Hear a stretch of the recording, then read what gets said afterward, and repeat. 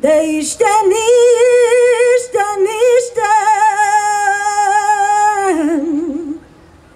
de mikor leszél de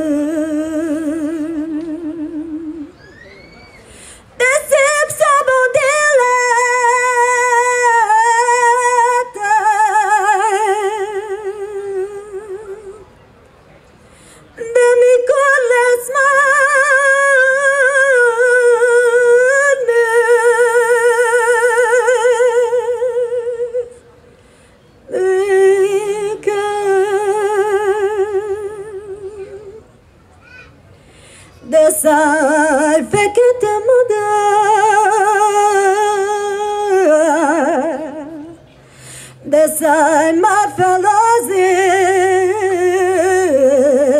égre. De szállj már fel az égre.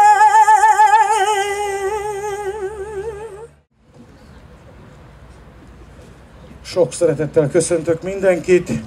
Megragadom az alkalmat, hogy köszönetemet fejezzem ki mindazoknak a szervezeteknek, akik a Roma Holokauszt Emlékbizottság tagjaiként részt vállaltak a feladatok megoldásából, hogy köszönetemet fejezzem ki nektek, a jelenlévőknek. Mert a ti segítségetekkel, a ti adományaitokkal rendezhetjük meg ezt a mai megemlékezést. És igen, kormányzati és állami támogatás nélkül csináljuk.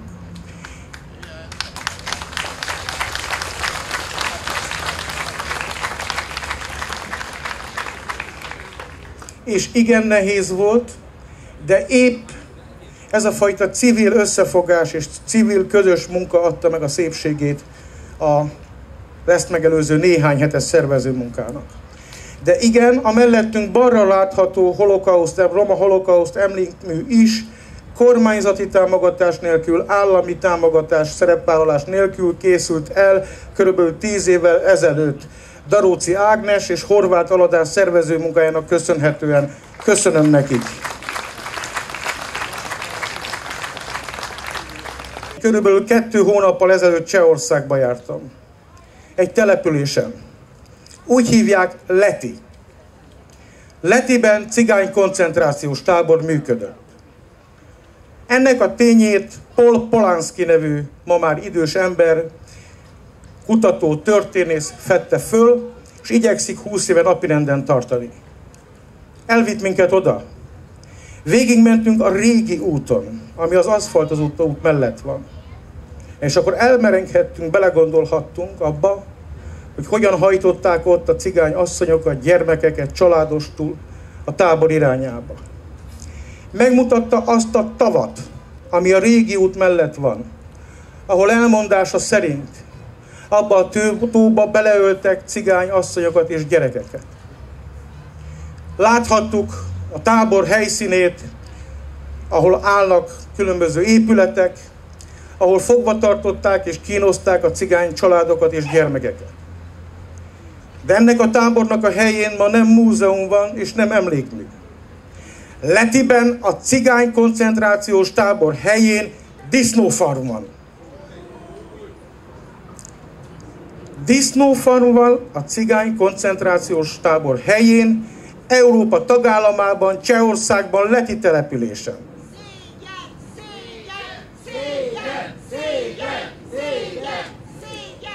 Ami talán ennél is nagyobb szégyen, hogy a disznófarmot, mint gazdasági vállalkozást az Európai Unió pénzzel támogatja. És mindezt az egykori tábor falán a szokásos PR táblákkal, hogy EU forrásból támogatva, kihelyezve lehet elolvasni. Igen, azt gondolom szégyen. Azt gondolom, hogy a mai megemlékezés követően arra kell kérnem a résztvevőket, hogy keressenek minket, keressük egymást, és a legközelebbi lépésként keressük fel a Cseh Köztársaság képviseletét Budapesten, és adjunk hangot közös tiltakozásunknak.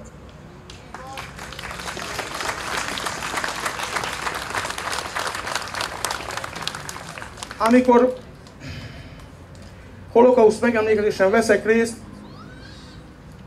mindig attól tartok, hogy az ilyenkor használt szavak megölték, meggyilkolták, megsemmisítették, hogy talán előbb-utóbb ellaposodik. Hogy úgy leszünk vele, mint a hírek negatív híreivel. Hogy vajon látjuk-e mindazt, az utat és mindazt a szenvedést, amit ezek az emberek bejártak. Vajon azon túl, hogy halljuk és megértjük-e, vajon a lelkünkkel megérezzük-e, hogy mit jelentett napi fél liter üres levesről kényszermunkát végezni száraz kenyérrel? Vajon mit jelentett, amikor halálfélelmük volt, és életveszélyben voltak, és amikor tudta, hogy életveszélyben van a gyermeke, vagy amikor tudta, hogy a halállal kell szembenéznie, nézniük mindenkinek, neki, a családjának, a rokonainak, tömegesen. Vajon mit érezhettek, amikor rájöttek, hogy a hazájuk, amelynek ők a fiai, az az életükre tör. Mit érezhettek, amikor rá kellett döbbenniük, hogy az állam, melynek polgárai nem védi, hanem támadja és megsemmisíteni igyekszik őket. Az út sok-sok állomásból áll. Senki ne gondolja, hogy egyetlen pillanat alatt történt, egyetlen szempillantásból állt volna az egész. Olyan folyamat volt, amelyben sokak sokszor elmulasztottak nemet mondani. Olvasok most egy könyvet, ami megrendítő erővel hat rám. Az Interface sorozatból van, Szintik és romák a náci fajoldozás idején címet viseli. Engedjétek meg, hogy néhány idézetet ebből felolvassak.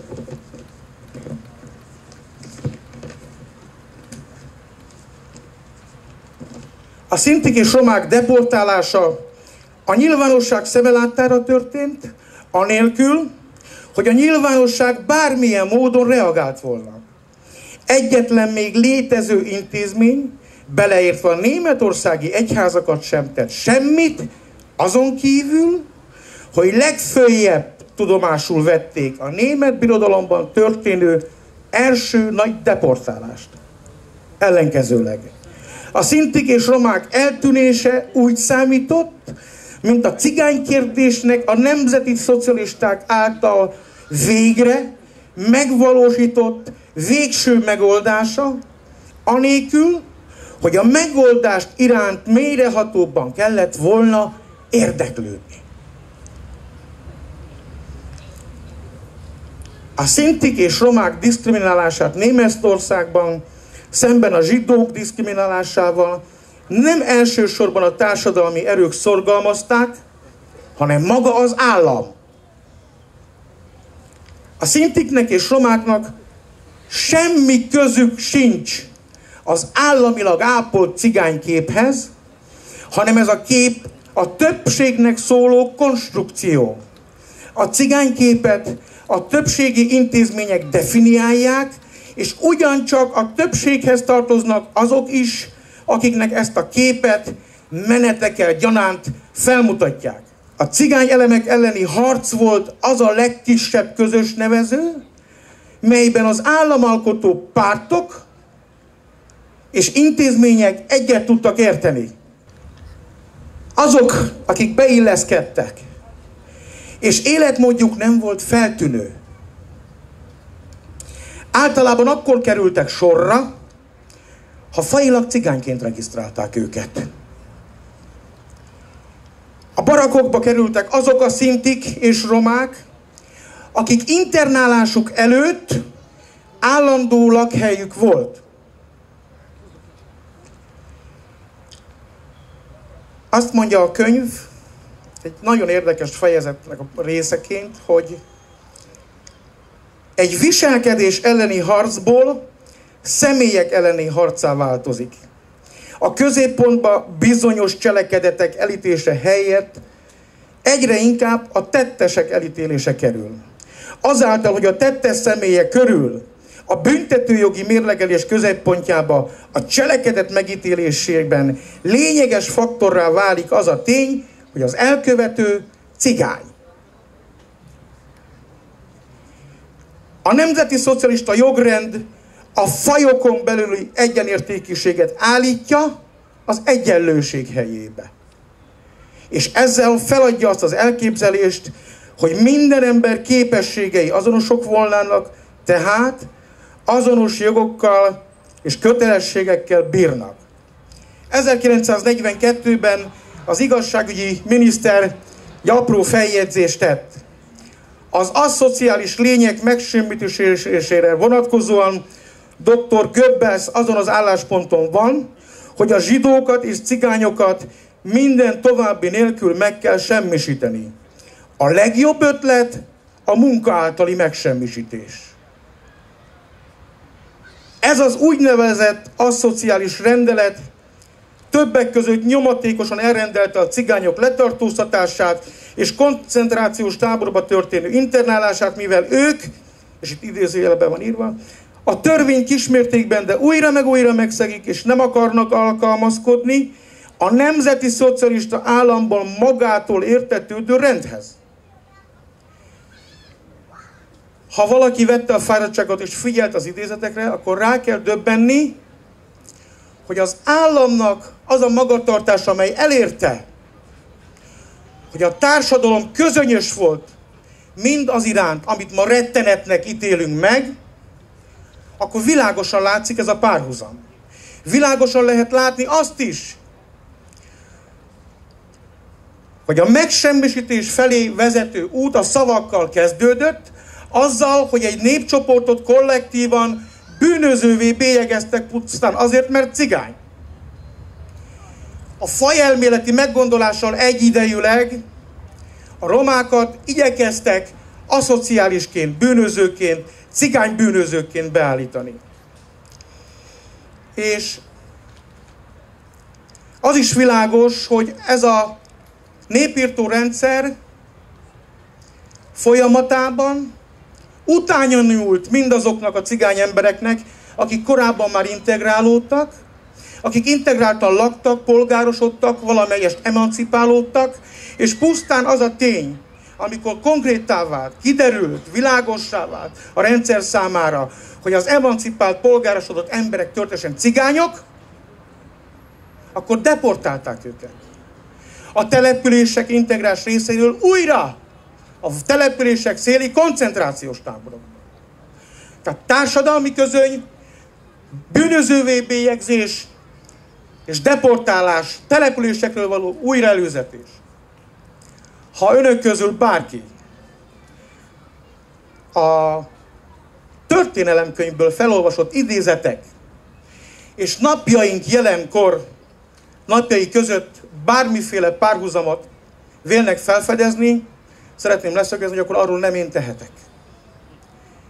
És szeretném nagyon világossá tenni, hogy bizony ebben az esetben az nem véletlen.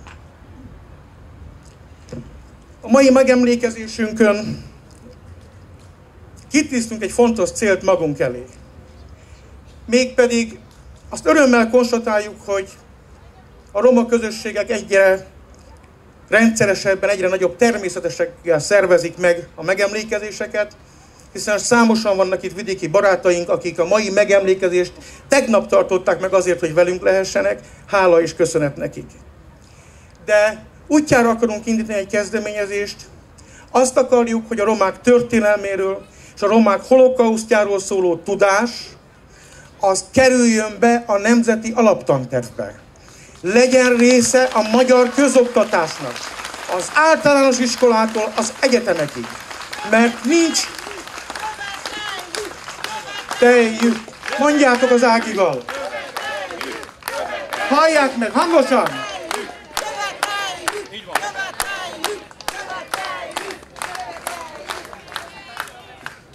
Nincs sem felzárkóztatás, sem integráció, sem emancipáció mindaddig, amíg a romák történelme és a romák holokausztja nem integráns része a magyar közoktatásnak.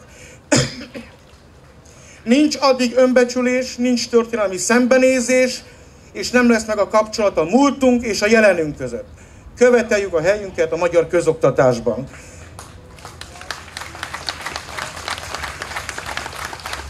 A rövid levelünk így szól, Magyarország miniszterelnökének és oktatásért felesztős miniszterének.